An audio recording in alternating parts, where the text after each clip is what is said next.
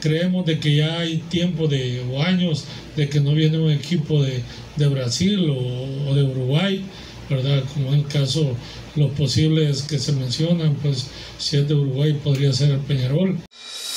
Disfruta los mejores platos a la parrilla en Puyas Grill y Bar. Recetas originales de la casa y nuestra especialidad en deliciosas parrilladas en un ambiente agradable. Además, contamos con desayunos al 2x1 de lunes a domingo desde las 7 de la mañana. En Puyas Grill y Bar también podrás cotizar para tus eventos corporativos o sociales llamando al 7743-5528. Puyas Grill y Bar se encuentra ubicado en el Centro Comercial Plaza Mundo, local 96 frente al parqueo subterráneo costado izquierdo del oasis.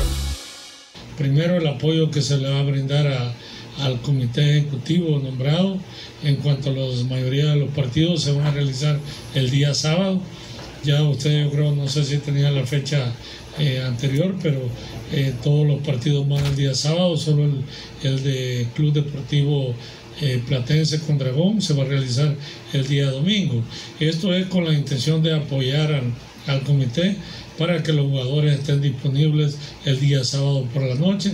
No sé si ellos van a salir el día domingo. Otra situación que se discutió, la posibilidad de llevar a cabo un partido amistoso aquí en El Salvador. Tenemos ya un candidato posible de que podríamos realizar ese partido en el mes de diciembre con un equipo de Brasil, pero estamos discutiendo la realidad de nosotros.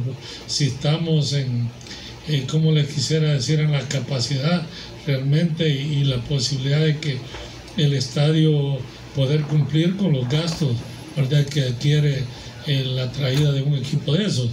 Así que estamos discutiendo, estamos viendo los, como dicen, eh, la situación si de ser posible, pues yo creo que entre unos 15 días ya vamos a tener, eh, después de haber realizado un estudio de mercadeo, si realmente podemos traerlo y si no, pues siempre buscaremos un partido fuera del país, ¿verdad? Que lo que estábamos buscando era traer un equipo de Sudamérica para que juegue con la selección. Han sopesado la idea de que es más imposible jugar fuera de nuestro país, en suelo norteamericano, con la selección para hacer llegar mejores ingresos. Sí, claro, este, eso es lo que estamos discutiendo.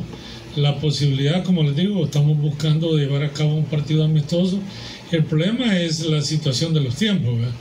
Eh, tenemos ya próximo la fecha FIFA que entra a partir de la siguiente semana. Luego, pues, este, eh, la selección igual, pues, el comité está claro que hay unos partidos amistosos pendientes que ellos tienen que cumplir.